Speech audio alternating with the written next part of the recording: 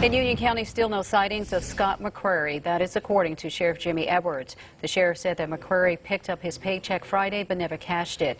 Deputies believe that he is in a 2003 gray Chevrolet Silverado pickup truck. The tag number is UNI 5324. McQuary lives near the West Union School in Myrtle.